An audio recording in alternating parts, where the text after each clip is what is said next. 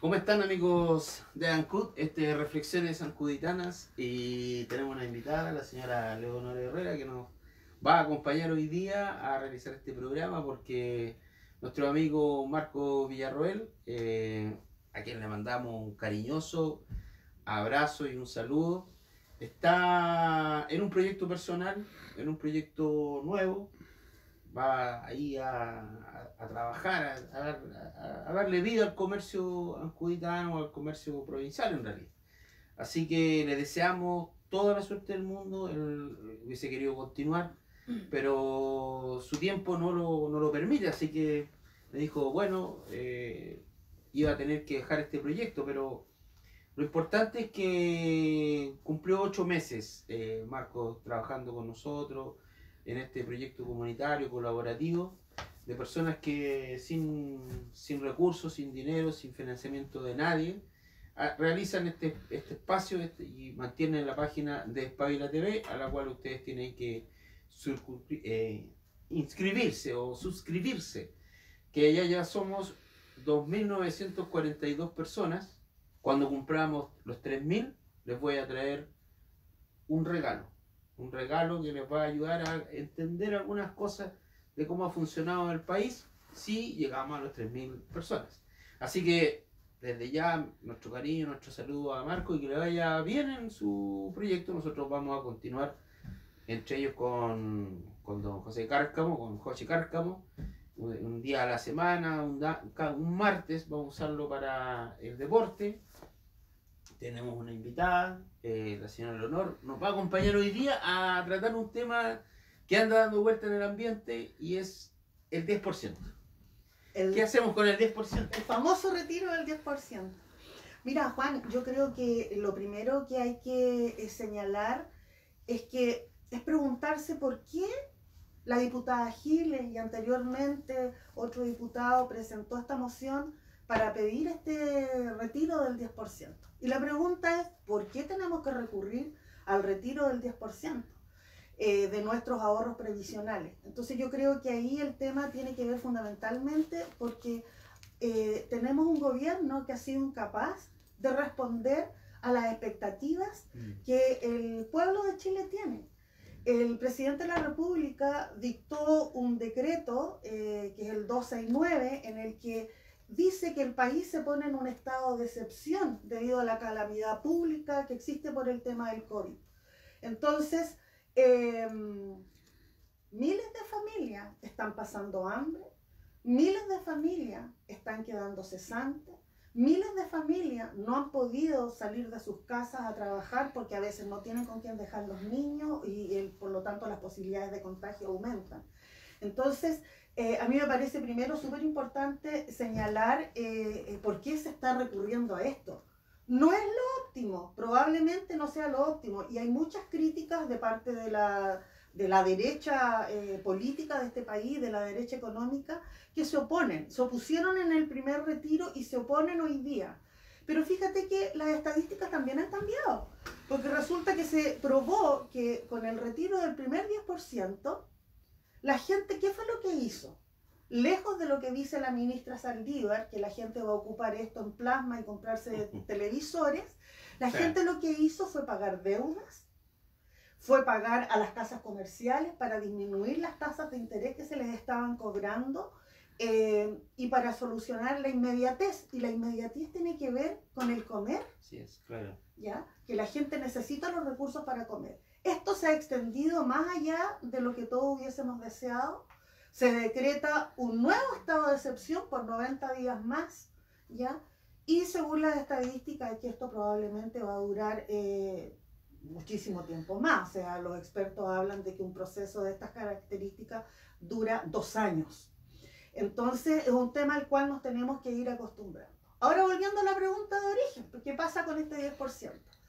Lo que se está pidiendo hoy día, se está discutiendo en la Cámara de Diputados, es que eh, se haga un retiro muy similar a las características que tuvo el anterior retiro del 10%, con un mínimo de 35 unidades de fomento y un máximo de 150. Y que cuando las personas eh, tienen una cantidad inferior a estas 35 unidades de fomento, si les quedan todavía ahorros previsionales, pueden hacer el retiro de la totalidad. La diferencia respecto al anterior, que lo que se está pidiendo es que se haga por una sola vez, no en dos cuotas como se pagó la vez anterior. ¿Por qué? Porque se produjo mucho desorden, se produjo también una situación de mucha incomodidad para las familias que no tenían cómo hacerlo a través de Internet ¿no? Y tenían que ir a las AFP, a las oficinas, que lo vimos en ANCUT, sobre todo en algunas, ¿no es cierto?, AFP, que unas tremendas colas de larga, la gente pasando frío, exponiéndose porque no cumplían con el, con la, el distanciamiento social. Entonces, em, esa es una, una, una diferencia. La otra diferencia que quedó en evidencia una situación que es muy lamentable, los papitos corazón. Mm. Quedó en evidencia que hay muchos padres, progenitores, que no pagan las pensiones alimenticias y que las mujeres se han tenido que hacer cargo de sus niños, de sus hijos, en su alimentación, en, los gastos que implica la crianza de un hijo y que no tenían ninguna posibilidad porque estos señores lo que hacen es cambiar de trabajo permanentemente, no declarar los ingresos que tienen, decir que no tienen trabajo, etc. Y esto lo que trajo es que puso en evidencia que eh, se llenaron los juzgados de familia, ¿no es cierto?, con el tema de las solicitudes de reintegro por las deudas que se deben. Otra diferencia que hay hoy día es que eh, una madre afectada por la deuda, por el no pago de, de una pensión de alimentos, puede pedir directamente en la AFP que se le embargue el porcentaje que le corresponde a la deuda. Y eso es súper importante porque como digo, creo que pone en evidencia un gran problema que tenemos en el país respecto al tema de las retenciones de pensiones de alimentos. Lo otro, eh, me parece importante relevar que eh, yo puedo hacer una reposición posteriormente de este 10% que yo retiré, pero es voluntario. Como también es voluntario que yo lo quiera retirar. Hay gente que no retiró su 10%, que no hizo la solicitud, porque no es obligatorio tampoco es obligatorio que yo lo reponga, porque en el fondo lo que se está haciendo es hacer una rebaja del gasto previsional que yo tengo en mi cuenta, en mi cartola de capitalización, porque es eso, una cartola de capitalización. Por lo tanto, va corriendo a cuenta de eso. ¿Baja mi pensión? Claro, baja mi pensión. Pero creo que ahí también nos pone otra señal de alerta. Entonces, el verdadero problema que tenemos es eh, el, sistema de el sistema previsional que tenemos en Chile. Porque no estaríamos discutiendo hoy día si hay que retirar o no este 10% si tuviéramos un sistema previsional eh, que permitiera que las personas puedan tener pensiones dignas. No estaríamos discutiendo hoy día este tema del retiro del 10% si el gobierno hubiese sido efectivo en las medidas económicas. Tenemos sectores que han sido ampliamente afectados, por ejemplo, el sector comercio, la gastronomía, el turismo, donde no han tenido ningún incentivo económico. Eh, los bonos de emergencia que se le han pagado a las personas, que ha sido a través de postulaciones, que ha sido sistemas engorrosos, que eh, han tenido que tener asistencia para poder realizarlo, eh, se habría solucionado si a lo mejor directamente a las personas se les hubiese hecho un depósito directamente en sus cuentas RUT y no tener que hacer toda esta cantidad de tramitaciones eh, porque las condiciones tecnológicas y la información para haber hecho esto otro estaba disponible. Haber sostenido un subsidio eh, durante seis meses a lo mejor para que la actividad económica que tanto le preocupa al gobierno se hubiese restablecido. Porque digamos otra cosa, ¿a quiénes favoreció el retiro del 10%? Favoreció a los bancos, a las financieras, y por supuesto a las FP, porque ¿quiénes son los dueños de los bancos y de las y de las financieras? Los mismos accionistas que tienen las AFP. Exactamente. Entonces, eh, a mí me parece que aquí hay harto paño que cortar. Entonces, me parece simplista que, por ejemplo, la ministra Saldívar eh, plantee que la gente se va a gastar su dinero en, en cualquier cosa, que van a disminuir su, su La pregunta es, ¿sería diferente si hubiese estado en la concertación? No sé si hubiese sido diferente, sinceramente. Porque, por ejemplo, en Francia, eh, ante esta crisis, siendo Emmanuel Macron el presidente de Francia, un presidente de derecha, eh, los empresarios franceses decidieron ir donde él y le pidieron que subiera sus impuestos. O sea, habla también de un... porque aquí suele juzgarse al mundo político como responsable de todo. Pero el liderazgo de un país no solo está entre los políticos, también está en eh, los empresarios, en los grandes líderes de opinión. Y acá los empresarios, excepto Lucy, que lo dijo en su momento, que él eh, estaba para meterse la mano, disculpen, para meterse la mano al bolsillo, o sea que él lo ofreció. Aparte de él y, y otro más, nadie del mundo empresarial ha dicho nada nadie ha, establecido ninguna especie de, digamos, de, de, punto de generosidad. De generosidad con... Adelante, don Claudio. eh, ningún punto de generosidad con el, con el tema.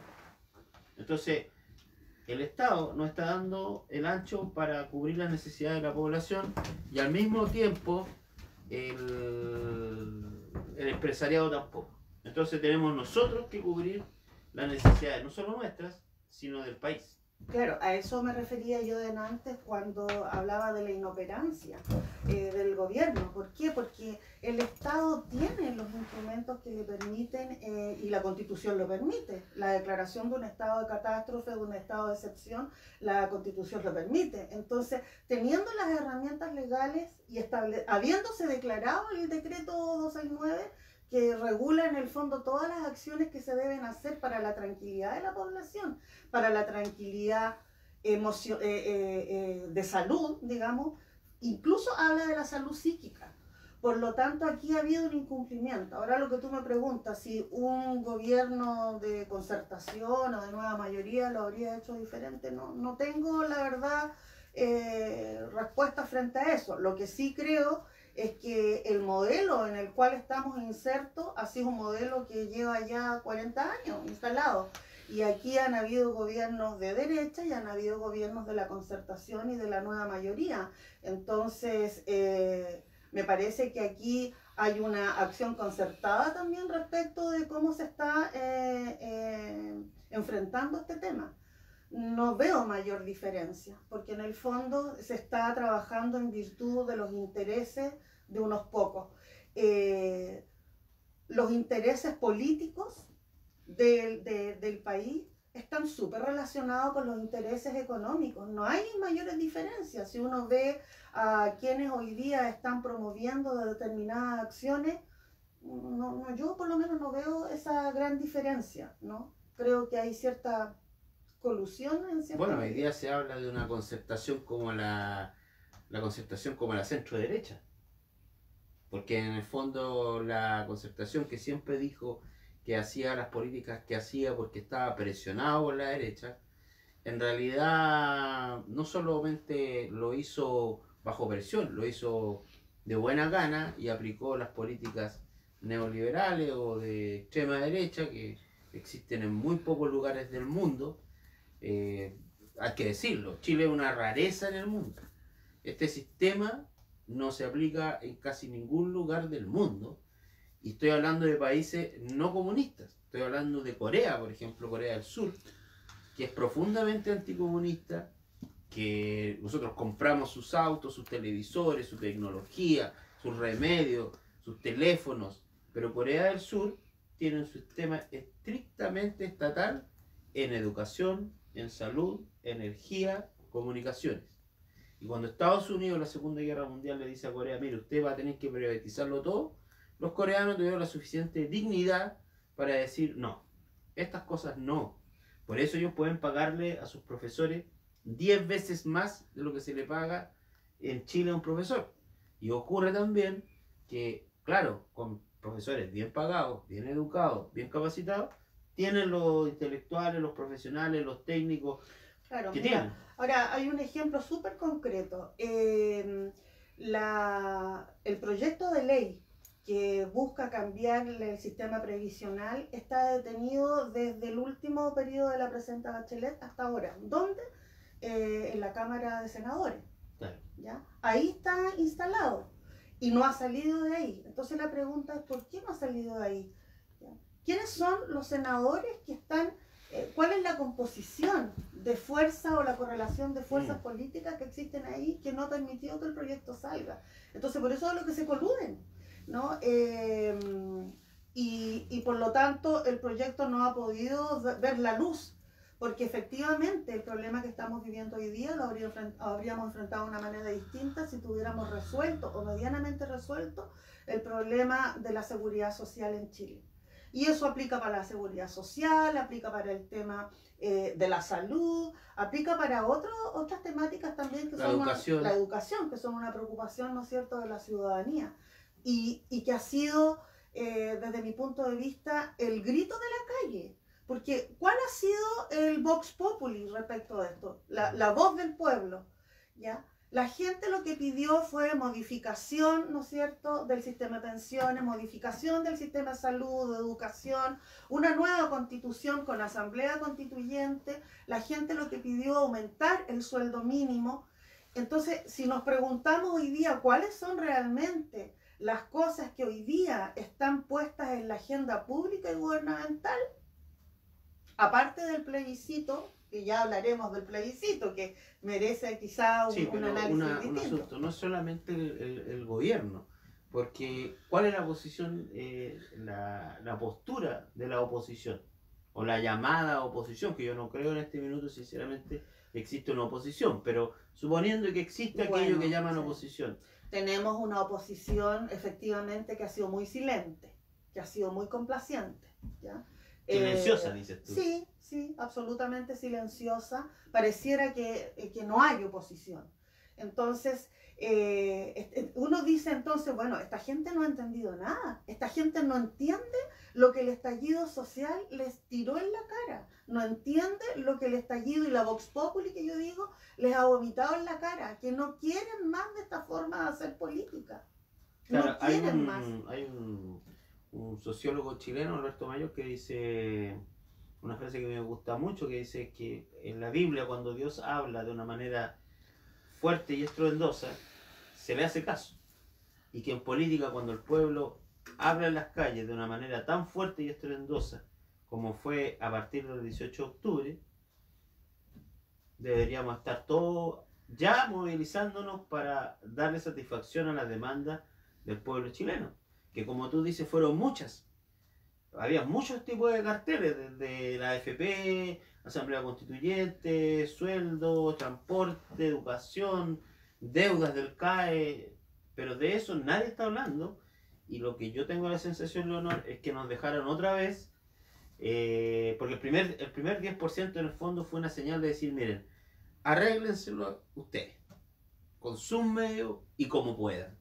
Y ahora por segunda vez eh, no estoy culpando a la diputada Giles, estoy diciendo que al final de cuentas, como no hay movimiento de parte del gobierno, de parte del Estado en el fondo de ayudar a la gente, bueno, ya, metámonos otra vez la mano nosotros al bolsillo y nosotros veamos cómo movemos el país. Bueno, precisamente Pamela Giles es lo que ha señalado, que no es el mejor camino, pero es el camino que nos está quedando los ciudadanos y ella como diputada está cumpliendo con el deber que le corresponde, ¿ya?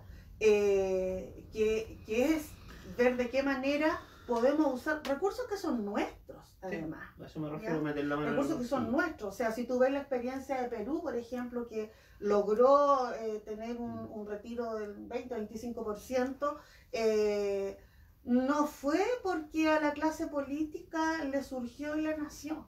Fue porque hubo una movilización social misma razón que tuvimos acá. Acá no fue un ejercicio político parlamentario el que tuvo la genial idea, es la presión de la, de la ciudadanía que obligó a que los políticos se pusieran eh, un poquito la mano en el corazón y también entendieran dónde tenemos las manos hoy día la gente de la clase trabajadora. Hay mucha gente que no tiene, o sea, ahí tienes tú el ejemplo de las ollas comunes Acá en Ancud tenemos varios lugares donde se están realizando ollas comunes. es impresionante como la gente tiene que recurrir a esta alternativa porque no tienen que comer. O sea que hay gente que vive del día.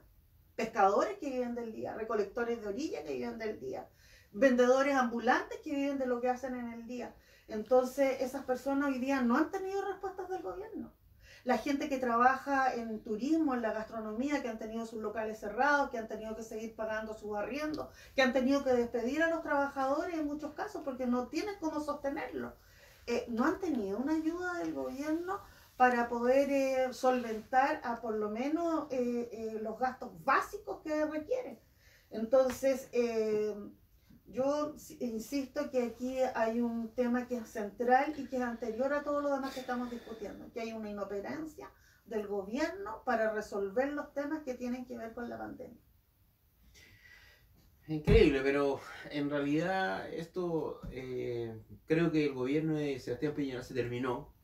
El 18 de octubre se terminó el gobierno de Sebastián Piñera.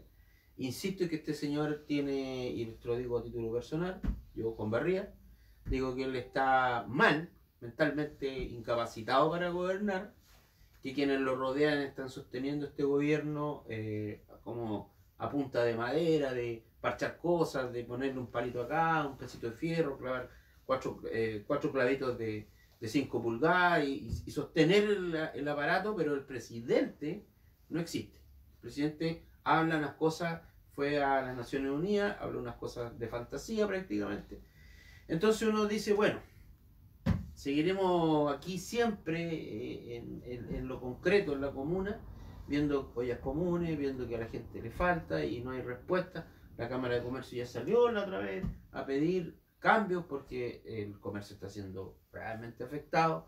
Uno lo ve cuando sale a las, calles en, en como ha descendido en realidad el flujo de personas, como hay comercios que se están cerrando. Pero en fin, nosotros hacemos lo que podemos desde este rincón. Eh, hemos ofrecido al que quiera acercarse para ayudarle a retransmitir su propaganda en función de ayudar en las ollas comunes o lo que sea, cualquier acto solidario, cuenten con nosotros. Porque salimos también a través de Cienes de Ancud, ¿sabes qué? El grupo más grande de amigos de, de Facebook que hay en Ancud. Y esto, esta conversación me lleva a preguntarme, bueno, pero en este cuadro tan difícil, tan duro para el pueblo, ¿qué función cumple el plebiscito este, eh, que me están llamando a todos a que vayamos eh, apruebo o rechazo? ¿Es apruebo o rechazo? Bueno, yo creo que vuelvo a la reflexión de adelante. ¿El tema es apruebo o rechazo o el tema es, primero, este plebiscito cumple con las expectativas que la ciudadanía tenía? Porque debo señalarlo, Despabila TV, que es un medio comunitario, eh, hizo cobertura de todas las actividades que surgieron con el estallido social desde octubre del año pasado en adelante.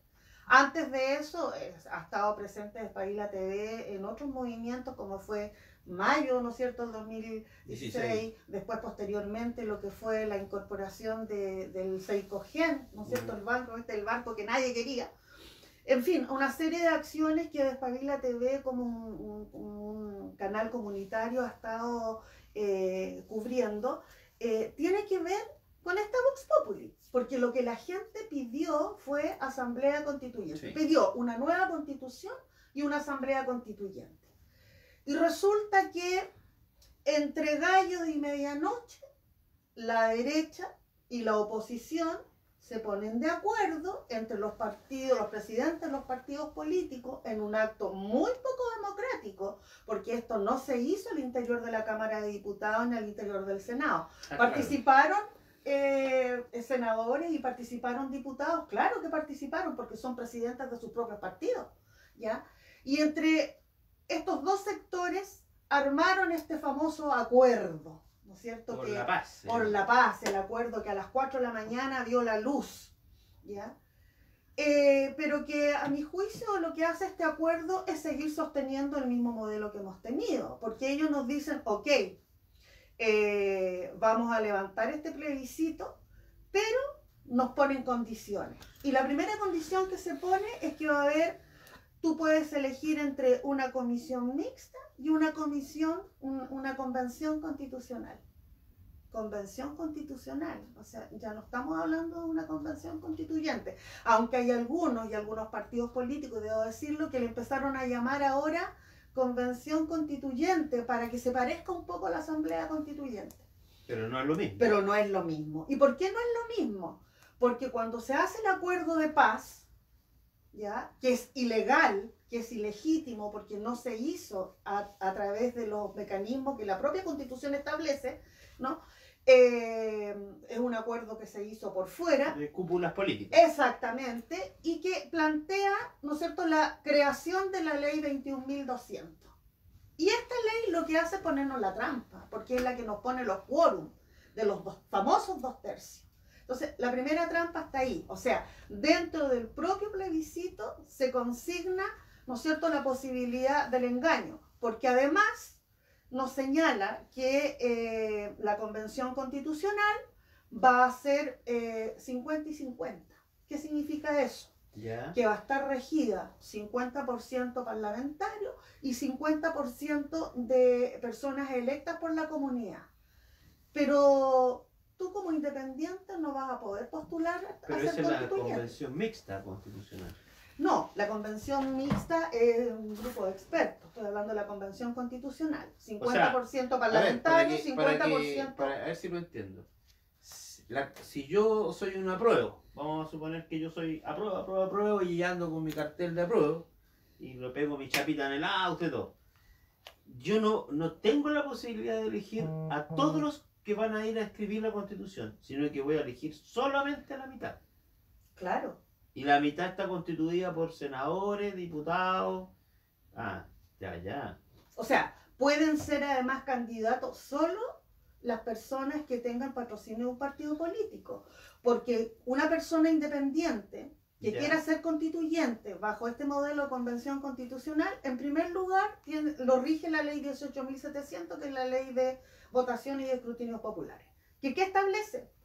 Que tienes que tener el 0,4% de la votación electoral de tu distrito, en este caso tu comuna, En el, en este, ¿Cuál es el distrito nuestro? En este caso de la comuna. De la comuna, Sí, en este de la caso la comuna. comuna, ¿ya? Entonces... Pero eso es mucha eh, gente. O sea, claro, eh, hay comunas donde una persona independiente que quiere ser constituyente y se quiere inscribir, primero tiene que llevar a las personas a la notaría para que eh, firmen el patrocinio. Ante notario. Ante notario. Pero eso cuesta. Eso cuesta mínimo 3 mil pesos si es que no llegas a un acuerdo con los notarios. Entonces estamos hablando de bastantes recursos. Eso significa que un independiente no tiene ninguna posibilidad de ser electo. Ninguna. Porque eh, esto está, va a estar regido por la ley, eh, que es la ley que permite elegir a los diputados y senadores. Por lo tanto, aplican los distritos. O sea, si tú quieres ser constituyente, ¿ya? Eh, acá en no Chiloé, quiero. no, pero supongamos que tú quisieras ser constituyente o el público que nos está viendo y escuchando. Si alguno de los independientes que nos ve y nos escucha quisiera ser constituyente, primero va a tener que hacer juntar las firmas que requiere, o sea, el 0,4% de la votación que hay en esa De comuna la última votación. de la última comuna. votación. Segundo, va a tener que hacer campaña en toda la circunscripción, porque opera la ley de, eh, que- De distrito. de distrito. ¿Ya? Se va a tener que recorrer Ancud, Castro, eh, tendría O sea, que- toda la provincia de Chiloé, parte de la provincia de Montt. Yanquihue, ¿cierto? Y provincia de Palena. un Entonces, independiente un independiente. viajando para convencer a la gente que voten por él para ser uno de los que esté ahí Claro. escribiendo la Entonces, constitución. pero va a ser un independiente patrocinado por un partido político. Entonces, ¿cuál es la diferencia? Porque yo lo que estoy planteando no es lo que la calle pidió. Lo que la calle pidió es asamblea constituyente, donde los constituyentes ejercen un poder soberano y son elegidos en su totalidad por el pueblo. No está regido por la ley 18.700. ¿Ya? Entonces, ahí hay un, hay un, hay un engaño, hay una farsa, porque, eh, bueno, hay mucha gente que va a ir a votar, apruebo, ¿ya? Eh, y que van a, se ven en la, en la disyuntiva que van a tener que poner convención constitucional, porque según ellos lo que se más se parece a la convención constituyente. Y algunos un poco más generosos le van a poner AC, Asamblea Constituyente. Pero no existe la capacidad logística para eh, distribuir la cantidad de apoderados y de personas que vayan a contar esa cantidad de personas que pusieron O sea, la letra AC. Claro, pero más allá de eso, o sea, esto no es una asamblea constituyente. No, no es una asamblea constituyente, es una convención constitucional que tiene otra tipificación, que tiene otra figura, eh, una otra figura eh, A ver si, legal. si, si entiendo y así entiende el público. Eh, entonces estos gallos cuando se juntaron los presidentes de partido, que entre ellos algunos tuvieron la patudez incluso de firmar sin que hayan aprobado sus partidos, como, Boris. como Boris, que firmó como yo Boris firmo aquí, porque no podía poner el nombre de su partido porque su partido no lo había autorizado. Entonces eh, sacan este acuerdo y después en el Congreso aprueban una ley, la 21.200. Y en esa ley o tú votas por una convención mixta, que es eh, diputados, senadores y especialistas. ¿sí? O por esta convención constitucional que son constituyentes eh, Elegido- elegidos, ¿no es cierto?, directamente y eh, parlamentarios. y parlamentarios. Y los independientes, si quieren ir independientes, tienen que pedirle permiso a los partidos. Sí. Porque el discurso que se ha armado es que los partidos, generosamente algunos, van a abrirle las puertas a la gente independiente. Pero en realidad el independiente, independiente real, tendría que ir a pedir que sean generosos con él y por favor, si tiene la amabilidad de Es abrirle que en el puertas. fondo, en el fondo tú vas a tener una afiliación. Entonces ya deja de ser independiente. Del momento en que tú vas y recibes el apoyo de un partido político que te patrocina para que tú seas un constituyente, tú vas a tener que firmar la ficha de ese partido. Por lo tanto, dejaste de ser independiente porque suscribiste una afiliación política.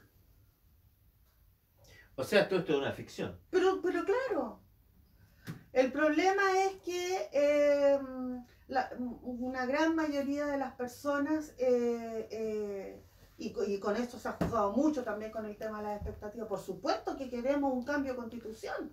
Sí, en eso estamos todos de acuerdo. Si el problema es Sí, que... porque hasta el alcalde Codina de la UDI dijo públicamente que él encuentra completamente razonable a esta altura.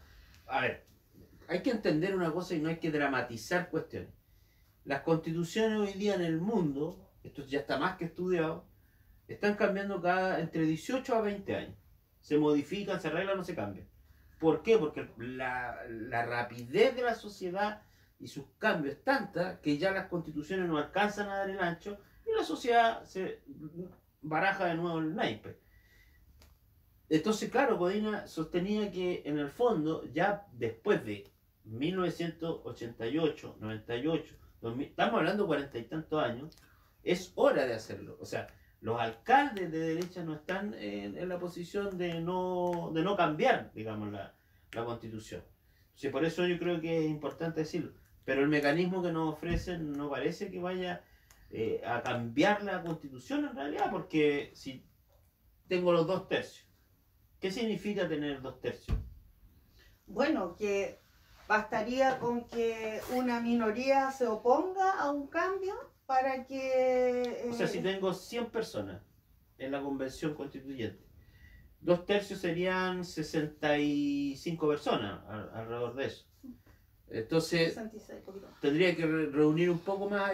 70 personas tendrían que estar de acuerdo conmigo para que pudiéramos hacer algo. Exactamente. Porque esa minoría de 35 tengo que convencer a dos o tres que se cambien y si no, se mantiene la constitución. Exactamente. Entonces, ¿por qué hay sectores de del, del país que están pidiendo, que están trabajando ya hace mucho rato? Esto no es nuevo. Hace mucho rato hay movimientos que están trabajando por una nueva constitución y por lo, lo que se llama eh, una, una convención soberana y constituyente, porque reconocen en el fondo en que la autoconvocatoria ya hicimos el año pasado un ejercicio, en la, y en eso hay que reconocer el mérito que tiene lo que se llamó las asambleas sociales que se realizaron en todo el país, donde nosotros como comuna tuvimos una gran concurrencia y un Ah, gran sí, número de personas eh, de distintos sectores eh, políticos eh, trabajando en hacer estos planteamientos eh, y, y eso hay que reconocerlo. Ahora, ese es un movimiento nacional que hoy día lo que está planteando es que el plebiscito siga el curso que tiene que seguir, pero se está trabajando en la convención autoconvocada y soberana, es decir, que la constitución la escriba el pueblo. ¿ya?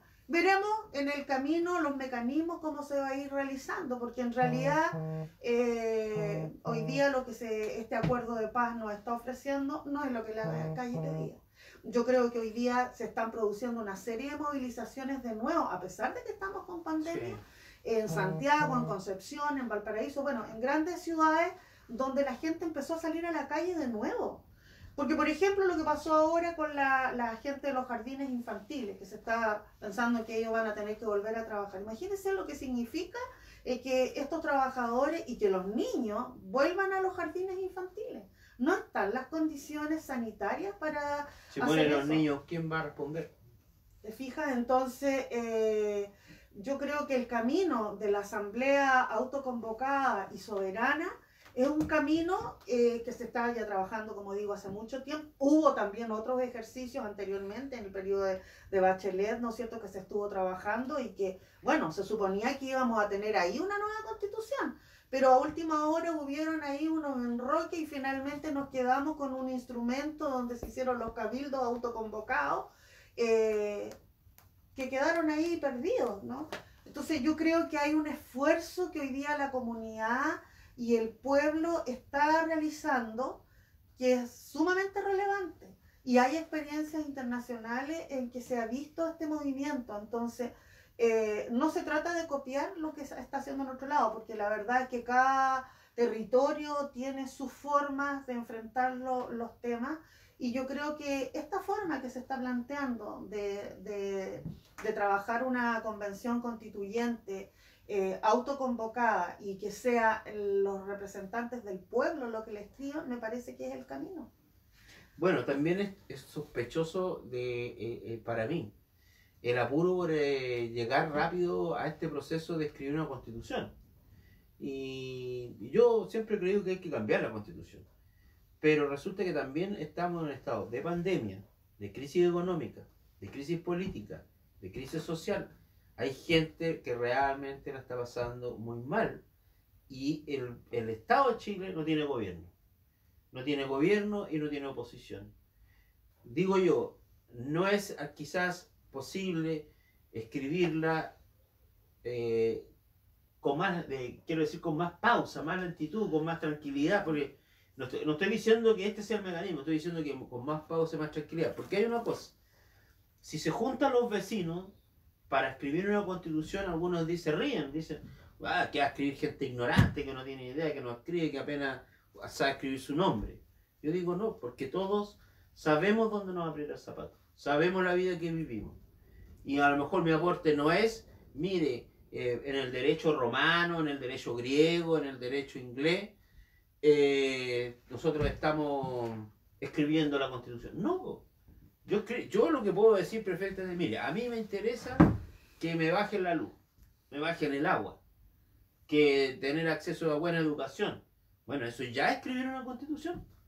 Claro, bueno, eh, en el acuerdo de paz, eh, cuando se establece la creación de la ley 21.200, establece que son nueve meses para la redacción. Claramente es insuficiente. Y sobre todo en el, en el escenario que estamos viviendo, en que ya vamos a tener el plebiscito el 25 de octubre, pero tenemos estado de excepción y de calamidad pública hasta diciembre, de acuerdo al, nuevo decreto que se, se prorrogó por 90 días. Entonces, todo eso significa que, primero, en la votación lo más probable es que vaya muy poca gente a votar. Segundo, que a partir de ahí hay un cronograma que ya está establecido y que eh, señala cómo se tiene que realizar el proceso después para los constituyentes y eh, los mecanismos para poder redactarla. Entonces, claro, la lógica que tú planteas, ¿no es cierto? y es la que yo señalaba que a nivel nacional se está produciendo este movimiento em, de, una asamblea soberana y, autoconvocada.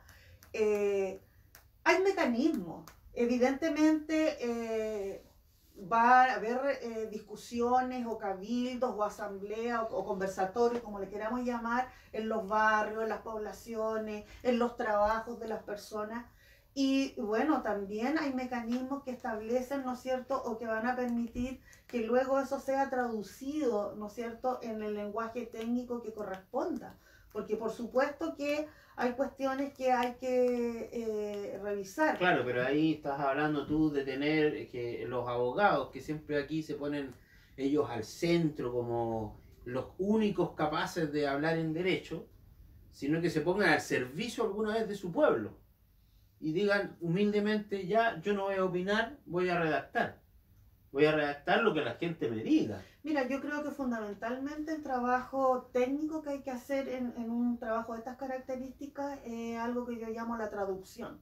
Claro, ¿ya? claro. En, en ciencia política se habla mucho de esto, de, de traducir un lenguaje que eh, eh, Coloquial, es más coloquial, ¿cierto? más cotidiano, en, en un lenguaje que es un poco más técnico, pero que no significa que es mi posición como profesional la que prevalece, sino lo que yo hago es una traducción, una Ok, interpretación de esto. Y eso requiere, eh, no cualquier eh, profesional va a poder hacerlo, requiere cierta experticia, requiere cierta preparación. ¿ya? Eh, entonces, a mí me parece que son además cuestiones que el mismo proceso va a ir proponiendo y construyendo, porque esta es una construcción colectiva. No Hablamos es... desde la Asamblea Constituyente de base y autoconvocada. Sí, claro, desde ahí, por Ya. supuesto. Es un proceso que se Porque va esto va a quedar amarrado, esto otro queda amarrado los políticos. Sí, pues claro, queda amarrado a los quórum de partida. O sea, si queremos nacionalizar el agua, y No vamos a tener que crear una ley, ¿no es cierto?, que nos permita hacer, dentro de lo que va a ser la nueva constitución, en la nacionalización del agua. Siempre y cuando tenga los dos tercios y el quórum que establece y que me lo permita. Ok, muchas gracias Leonor por acompañarnos en este programa. Y gracias a todos eh, por, por estar aquí. Eh, vamos a continuar trabajando. Eh, lo- el otro martes viene Vladimir Corrales, lo voy a dejar aquí, en, en- en la cámara, que me lo... me- se, Se comprometió, comprometió. se comprometió, lo prometió, dijo yo voy a estar y todo. El otro martes. Y el martes subsiguiente esperamos continuar con don José Cárcamo, que no se ha retirado del proyecto de Espabila TV y vamos a tener en cada reflexión un martes dedicado al deporte y más. Le vamos a poner esa sección. Así que vamos a, a- a- continuar y recordarles, suscríbanse a Despabila TV, pero sobre todo compartan este video, compártanlo, conversemos del asunto y veamos qué cosas se pueden ir y, y veamos, evaluemos cómo va el país, cómo, porque el país al final afecta, los afecta a cada comuna O los temas que Y quieren los que temas- se conversen. y los temas que quieren que se conversen. Entonces, yo creo que vamos a volver a invitar a Leonor para trabajar más el tema del problema constituyente, porque si bien es cierto, yo lo encuentro un poco todo esto un poco absurdo, porque creo que al final de cuentas eh, no hemos solucionado ni siquiera el problema de la caja de alimentos, de la olla que la gente no puede parar, hay gente que no puede pagar la luz, no puede pagar el agua, los negocios están cerrando, estamos en un completo desgobierno. Entonces, en esas condiciones, hablar que esto va a ser eh, bueno, eh, no, no sé, y más, y más encima que está amañado, como dices tú. Está, ya está, eh, mi abuela decía, echa la ley, echa, la, trampa. Así que, amigos míos, esto ha sido Reflexiones Ancuditanas, con, de- detrás de cámara, don Claudio Orlov, como siempre, apoyando a su pueblo, porque aquí tenemos un verdadero ancuditano. Así que, muchas gracias, nos vemos el próximo martes.